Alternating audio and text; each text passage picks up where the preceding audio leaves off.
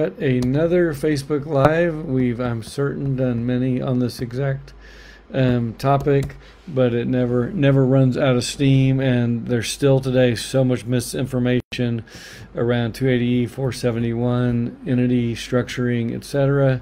Um, so I'm going to go ahead and toss 280E in again. Um, if you haven't, um, also read the Harborside case. You, you will learn a lot for their many years in the courts. But again, this this tax code says no deduction or credit is allowed. None, not some, not a few, none are allowed if your trade or business that is a super um, important word. Trade or business is the most broad word you could ever use, um, and it has absolutely nothing with entity structuring to do with entity structuring. And I'm going to read from Harborside case in a minute. But remember, when say, people say, "Well, what about this structure? Does this structure work? We've got a holding company and two LLCs and this, that, and the other." The courts aren't looking at structure, legal structure. And Harborside proved that. They're looking at what this law says trade or business. You could have 45 entities, and two of them are cannabis and 46 are non cannabis. They might say all, all the whole whole conglomeration is cannabis because they're saying what's the, what's the trade and business of this organization so be really really careful we still see today these crazy structures that more than likely are not going to beat 280e um, so, so make sure you're doing that. And if that trade or business is trafficking, um, so if any one of that part of that organization is trafficking, growing pot, selling pot, making gummy bears, etc., um, you're you're probably going to be in trouble when the, the courts come come to look at you. Um, now that said, if you say you have a cannabis manufacturer in there, there's actually a lot of legal deductions you can take. They're not deductions, but they're inventory costs. I'm going to put this in here for 47111. So if you're a manuf- a grower, a processor of, of the flower to oil, or a manufacturer of any kind of product, beverage, food, whatever, lotions, you can utilize 47111 it's not a deduction, it's not a credit, it's inventory. So you're allowed to get a whole bunch of cost in inventory, and when that inventory is sold, it's cost of goods sold, it's a return of capital, it's not a deduction or credit, and that will be allowed on the tax return. Now, that said, even though this is good news for many, many, many cannabis companies, easily 90% of cannabis companies are doing this all wrong. Read it. Go spend 30 minutes, read it top to bottom. It talks about cost accounting, absorption accounting. We have to do that. And not only do we have to do absorption accounting, we need to do it in accordance with GAAP. We need to know what the heck we're doing. You don't need to just hire some random, if you're a CEO, bookkeeper that's probably never heard the word cost accounting, much less know how to do it. We need to do this correctly if we're going to be allowed to put the maximum amount of cost into that inventory, which is what you want as a owner. You're going to be able to put all the direct costs, material, soil, etc., direct labor. That can be huge on the farm or manufacturing plant. And three categories of indirect production costs. I'm not going to read these all out, but they give you three categories. Category one are things you have to put in inventory via cost accounting. And those are pretty good. Repairs, maintenance, utilities, which can be huge, heat, power, and light, rent indirect labor, indirect materials, etc. They list them out in this code. Then they tell you exactly the second category, what you cannot ever put into inventory: marketing, advertising, selling, interest, etc. Um, percentage depletion, tax depreciation, accelerated depreciation. No, the answer is no every time. It's written right here. You can read it yourself.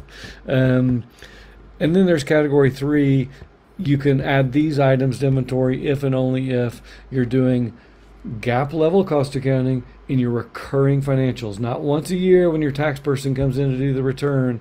So most of you CEOs out there are not doing this. And so what does that mean? You're missing costs that can be put into inventory. What kind of costs are they? Big ones. Taxes, depreciation, employee benefits, cost attributable to strikes, rework, and scrap and spoilage, factory admin, officer salaries, insurance. You don't want to miss out on that, so do it right. Um, we've got i'm putting both of those links in there now i'm also going to toss in the harborside case because i was actually helping someone in our program yesterday with entity structuring. Read read the review here and then you can read the entire case if you want as well. Um, i'll just point out a couple of points that the, the court said. Um, well let's let's look at a couple of these comments and i'll just put them in here as i read them. Um, and these are again will be quotes from the court and this is super important. So let's read this first one here. Um, this is very important the court has shown that a single entity can have more than one business so you might have a t-shirt and a restaurant and a cafe and a cannabis farm in one entity if you do it right with separate books and record within that one entity that that cafe and t-shirt division can can get deductions and credits over there if it's done correctly. Um, so so that can be done with one single entity. You can actually split out some costs um, and get some deductions. Conversely, you could set up again 50 entities and only one of them sells cannabis. Um, but the courts may come in and say, you know what, that looks like a single trade or business to me. It looks like you got a farm right there, and I don't care if on paper you got 50 entities at that one farm um, or one dispensary. Um, so, so just the entity structuring does not help you or hurt you. That's it's irrelevant, and they're saying it. 280E says trade or business. You might not have any entities. You might just be selling weed out of your basement. 280 still applies to you. That's how they catch crooks, oftentimes. So that's one thing. Okay, let's say another right here. Um, this is another important thing. So you've got your some dispensaries will say, okay, well I've got my little coffee coffee mug and bong division over here, and I sold 10 million of cannabis in the dispensary, and I sold 10,000 of coffee cups and bongs that's probably not going to cut it either. Um, they're going to say that that if you're going to identify the separate non-cannabis division, it's got to be substantial, profitable, or on a path towards that clearly, um, and it has to be accounted for separately, even if it's in one entity. Have a separate books and records for that division um, so that we can see that it's sizable. And then finally, here is what the court said in specific. Um, again on the entity issue, just in case trade or business was not broad enough. They said it right here clearly when Harborside lost. Um, when considering multiple entities or businesses, what are they going to look at? Do they say, here's what they don't say.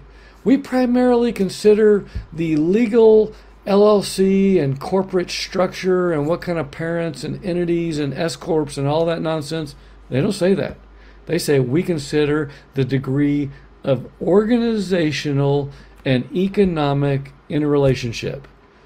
Organizational and economic interrelationship. Could you be any more broad? And does that have absolutely nothing to do with your entity or legal structure? Nothing. They're saying, look, we're going to fly in, we're going to look at this thing from 10,000 feet. If we see a farm in a dispensary and you've got 20 entities and we still just see a farm in a dispensary, you're out of luck. And as a matter of fact, you can get hit with double income if you set those entities up in the wrong way. So read our blog. Um, actually, I'll just toss the whole blog in here um, as well. Don't do this wrong. I can't believe people are still teaching this incorrectly.